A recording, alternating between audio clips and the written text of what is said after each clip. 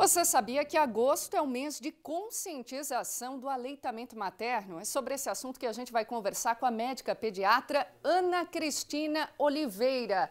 Doutora, seja muito bem-vinda aqui ao nosso Balanço Geral para a gente falar desse tema tão importante que muitas mulheres, muitas famílias ainda têm dúvidas, né? Vamos começar falando sobre a importância do aleitamento, que é muito mais do que um ato de amor da mãe.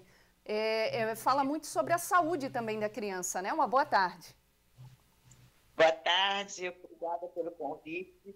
Então, é, apesar de estarmos no mês de aleitamento materno, como você mesmo mencionou, existem muitas dúvidas e mitos a respeito. É, mas o leite materno é extremamente importante porque ele tem várias é, situações. Ele tem um teor é, calórico adequado para o recém-nascido, com aporte excelente de vitaminas A, E e C, ácidos graxos poliinsaturados, uh, ajuda é, grandemente o sistema imunológico do recém-nascido, protegendo contra doenças digestivas, respiratórias, alergias. Uh, o aleitamento materno também diminui consideravelmente os casos de mortalidade infantil, principalmente por pneumonia diarreia. Uh, ele tem um índice, a, a, as, mães que estão amamentando, que, que amamentaram seus, seus recém-nascidos, é, tem um índice menor de incidência de câncer, bronquite, é, desnutrição, eczema, desenvolvimento também uh, adequado para uh, o aparelho é, dental e facial, favorecendo uma oclusão adequada desse, é, dos, dos, dentes. Uh, e além, assim, uma coisa muito legal, muito importante, é o fortalecimento desse vínculo afetivo é, mãe recém-nascido. Que é o mais além importante, também, né? Oi? Ai, que é muito importante. Com certeza. E, doutora, é verdade e... também que reduz as cólicas no bebê? Porque né, as crianças sofrem com isso, as mães também ficam desesperadas com a situação e diz, dizem né, que o aleitamento ajuda a prevenir. Ajuda. Na verdade, o tema cólica do recém-nascido é uma situação ainda não muito bem esclarecida, ou assim, o motivo por qual o bebê Tito tem as cólicas até o terceiro mês, normalmente, se vê que não tem reloginho para dizer que tem, ó, tem três meses, vai parar a cólica.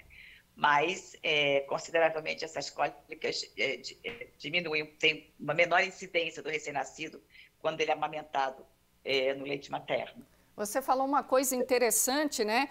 Com relação à mãe, quando ela é, amamenta, ajuda a prevenir o câncer de mama? É isso? Câncer de mama, câncer de útero, principalmente também ajuda, ajuda. A gente observa que aquelas as, as mulheres que têm, que tiveram, que têm câncer de útero e de mama, é, você vai observar que elas não amamentaram é, de modo adequado ou no tempo suficiente o seu, o seu bebê, o seu, o seu filho, né? É importante isso. Isso Agora... é, é fato, isso é fato. Pois é, olha só a importância, gente. Agora, doutora, até qual idade é, é, recomendável o leite materno? Tem muito assim, tem muito tabu sobre isso, na verdade, né? Até muitas vezes um preconceito da sociedade dizer assim, essa criança é muito grande, não deveria mais estar ali a, a, mãe amamentando, né? Tem assim uma idade recomendada? É, é o aleitamento materno ele, ele é aconselhável até os dois anos de idade exclusivamente aleitamento materno até os seis meses. Só leite materno, não precisa de dar mais nenhuma outra coisa, nada. É, a partir dos seis meses, então, continua-se o leite materno, mas vai havendo a introdução de outros alimentos. É, a papinha salgada, a papa doce, e assim, né, e assim o pediatra vai orientando. Mas exclusivamente até os seis meses e com entrada de outros alimentos, pode ser feita até os dois anos de idade. Agora, é o o famoso mil dias da criança, né? Essa importância Sim. dos mil dias da criança. Agora, doutora, muitas mulheres reclamam, né? Porque a maternidade não é aquilo, né? Tudo sem problemas e tudo mais. Acontecem, por exemplo, aquelas dores, é, o bico rachado, acontece da falta de leite. Tem algumas coisas que a gente possa fazer para diminuir esse desconforto? É, assim, a, a, já na gravidez, a partir do momento que a, a mulher sabe que está grávida, ela pode começar a preparar a sua mama. Então, é, como é que ela faz? Uh, a exposição do sol é bastante importante, porque a mama, o seio, né, é uma região que a gente não pega sol, então fica aquela pele mais fininha, né? Vamos dizer assim, mais fininha. E o sol, então, vai ajudar nesse sentido para endurecer, vamos dizer assim, tornar mais rígida essa pele, se eu posso dizer dessa maneira. Então, a exposição do seio ao sol é mais ou menos 10 minutos todo dia, antes das 10, depois das 16, das 16 horas. Obviamente, sem protetor solar. Você pode proteger no teu corpo, mas na mama não. E é, se por acaso for inviável essa exposição ao sol, não é tão eficaz quanto, mas é, você pode usar uma luz, uh, luz de, de, luz normal, né, de 40 watts, mais ou menos também uma distância de 20 minutos, nesse período de 10 minutos, também seria interessante.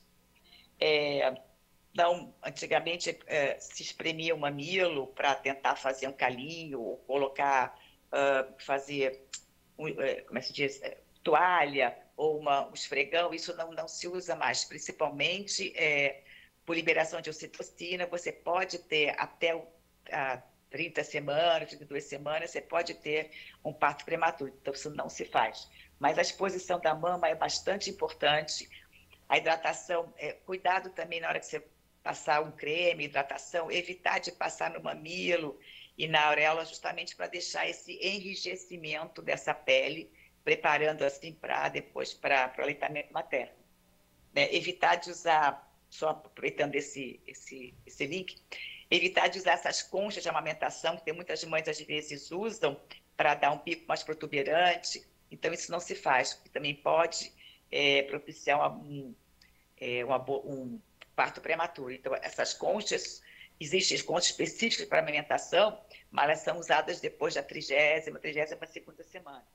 Essas são as coisas mais importantes, assim, para você preparar a tua mama, né, para tua, é, o teu aleitamento.